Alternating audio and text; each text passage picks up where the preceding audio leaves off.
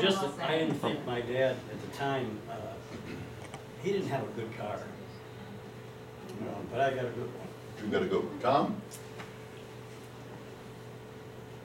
Well, I didn't come back with a unit. Uh, I came back as an individual on a chartered flight. Came in at Travis Air Force Base, and when you got into the base, uh, we were told to change into civilian clothing because we were gonna fly out of SFO, out of San Francisco to go to wherever we, uh, wherever home was.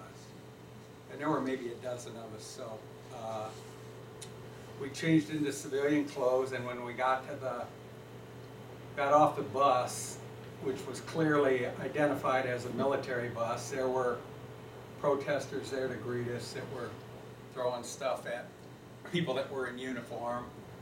Uh, And to be honest with you, uh, I remember being pretty surprised because I wasn't in a position to pick up news from home when I was in Vietnam, so uh, I really didn't, I guess I was a little naive, I didn't know what was going on. I didn't have any expectation, good or bad, as to what we were gonna encounter, so. Flew home, and it was essentially just time with family and friends. Uh, I'll tell you, uh, interesting story about my first time home, first night home. My father fought in the Pacific in World War II. So, uh, about three o'clock in the morning, I get up and walk into the hall and I had what a lot of GIs had then when they came home, combat guys. They called it the sweats. It had always been called the sweats for grunts. Uh, so you wake up, you're soaking wet. My dad's standing in the hall. He said, got his arms crossed, three o'clock in the morning. I don't know how he heard me. He says, "You got the sweats?" I said, "Yeah."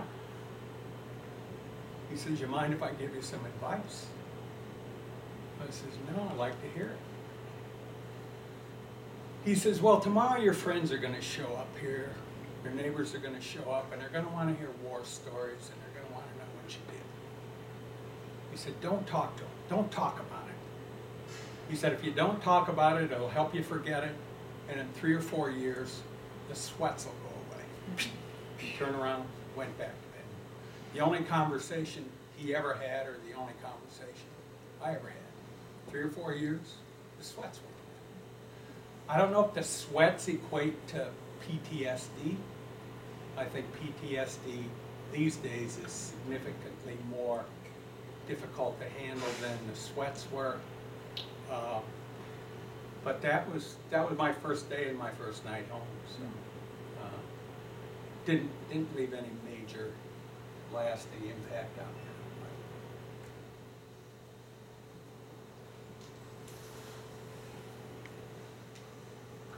I want to cycle back to Melissa's most excellent question, uh, what really should be done? If you came into San Francisco Airport in uniform in sixty-nine or seventy, pretty good chance you'd be spit on or food would be thrown at you. So that's why we came back in civvies, kind of snuck through the airport. But by God, we still were favored for jobs. If we had served, all of a sudden, they really wanted us. Um, do you mind if I mention what you did? Uh, Tom became an FBI agent. Skip, Detroit police officer, then Washtenaw County sheriff. And Skip, I am so empathetic to what you're saying, but you're the best police officer I've ever met, and I know a lot of them, including all of the sheriffs. Um, I was determined not to get caught up. So I was working three days after I was out, I had a job. And because I'd been trained, uh, and I was the boss in ninety days. There was a bigger boss, there's always a bigger boss. And in a complex organization, and it's more true today, there's usually a sociopath at the top running things. And I had one of those guys, and he loved to manage people by shame and guilt. And he knew that I was a combat veteran, so I would go into meetings with him with a large styrofoam cup of steaming coffee. And he would do one of his little psychopathic things, and I would just look at him, benign expression on my face, and I would squeeze that cup of steaming coffee right over my hand. And he would say, of course, we can do it your way.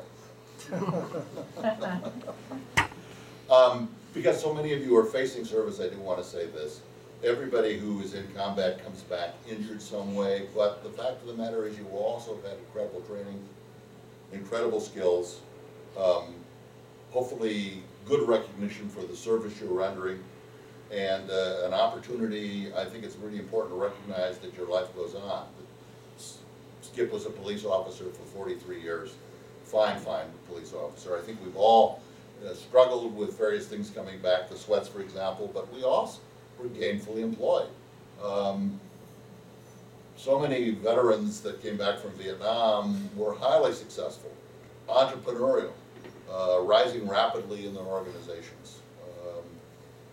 There are casualties in every war, but people are able to struggle and survive, and your life is richer, far richer for having served. So what do I hear most of the time from my friends who got deferments? They say, you know, we think of you and we feel guilty. We should have gone and we didn't go. And I end up over some cocktail reassuring them that, you know, really, guys, you, you didn't, you, you it's all right. It's all right, but, you know, I, I can't make it sound. They're actually dealing with survivor's guilt. Melissa, they need your help. They have survivor's guilt because they didn't go. Another question? Back there again? I just want to make a comment about this, this war, uh, I'm against war, for, you know, for one thing, but you're joining now. I don't know that you want to join, and the way they fight the war, back in, during the time I was in there, they're talking about going into different homes. How do you differentiate, how did you differentiate the enemy from the friend?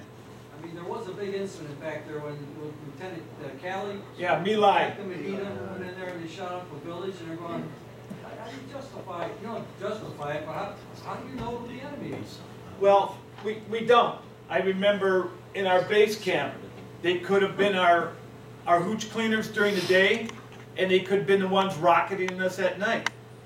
Now, when you spoke earlier, when we just talked about going and coming, the day I left to go to Fort Lewis, Washington, my dad took me to the airport. I'm sitting in the airplane, and at the time, you could still walk through the airports to the gate that your loved one was leaving. And I had a window seat, and I'm looking at my dad, and I start crying, and I have a lady sitting next to me goes, well, "Why are you crying?" And my comment was to her, "This is the last time I'm going to see my dad." Because I'd already had it in my mind I was not going to come home alive. So I go from there to when I come home. I was back home at my mom and dad's place within 48 hours leaving a combat zone. I went from Chu Lai to Cam Ranh Bay to Fort Lewis, Washington, and a flight home to Detroit. All under 48 hours. And it wasn't until after my group that they started giving the guys after this a week or two to at least get acclimated to the uh, coming back to the world, civilian life.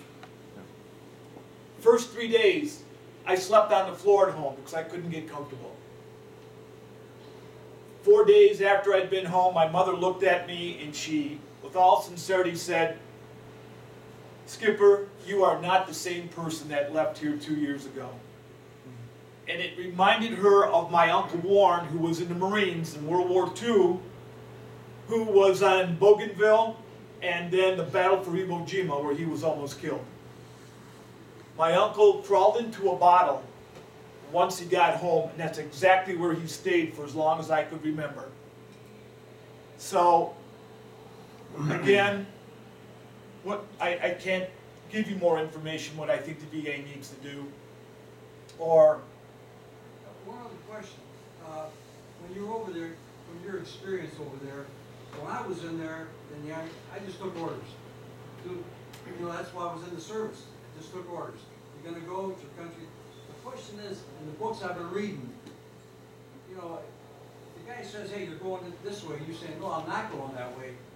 Did you ever experience that? Because the officers are giving you, the officers are giving you the, uh, instructions. And Some of these guys are like, right out, I don't wanna say ROTC, if that's what six-month wonders, whatever they call them. And you've been to college, I don't see you've been to college, but you- maybe you've been, you're not the youngest person going in there, you're not eighteen years old, you're not like the fellow said, gung ho. They, you know, you have this misimpression that if you're in the airborne, you're a tough guy. Well, You're not a tough guy, you're just like everybody else, you're you're scared. But these guys would say, I'm not going, I, in the books I've been reading, there was some, I think the term was called fragging. And, and, and they were throwing the old, uh, whatever it is, uh, grenade in the tent. If you didn't, did, did you experience any of it? Did you hear about it when you were over there, or did it happen? I have no comment at this time. Your Your Honor, I have no recollection. Uh, I will say this, a good officer, lieutenant, captain, major, colonel, captain again in the Navy, um, even general, a good officer listens to his sergeant, right, sergeant? A good officer listens to his sergeant. You have to remember, the military is the life of being told what to do. It's not, there's no variable there. But there's collaboration. Yesterday, we had a World War II uh, panel, and uh, our B-17 pilot uh, lost all of his engines uh, over Germany coming back from a bombing mission supporting the Battle of the Bulge. And so the crew had a conference. None of them wore any rank. I mean, they knew who, whose rank was who. But they had a conference in the plane. Do we bail out, in which case we'll be prisoners of war? Or do we ride it down and try to land it on our side of the line? And they had a vote. They voted, and they voted to land, and he, he brought it in safely, and they all survived. Uh, There is collaboration in combat. So you need to listen, listen to uh, your enlisted men, you listen to senior officers. There's far more leeway than you would imagine. Uh, uh, Tomorrow, at the, uh, at the War on Terror and also at the Gulf War panels, we have uh, Command Sergeant Major Steve Bush speaking. He was a Command Sergeant Major, Joint Operations Special Forces for the last 15 years of his career, retiring in, in 2010. As the terms of engagement tightened up in war zones, uh, it got so bad that a two-star general told the command sergeant major, you will not have a loaded magazine in your weapon. The command sergeant major said, General, we're in a war zone. Nonetheless, I'm in charge. You will issue orders. No one will have a loaded magazine in their weapon. And the sergeant major said, General, holding up his weapon, I am in violation of your order, and I will stay in violation of your order. And the general backed down. There is collaboration. I want to make one last point, and I, I just had one more comment. there is a long tradition in the military, as you uh, get a chance to study military history, it's fascinating how lessons learned do come down. The most uh, influential general in World War II was, anyone want to guess?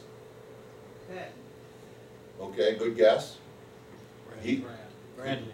Yep, actually, excellent guess, but actually, it was Ulysses S. Grant.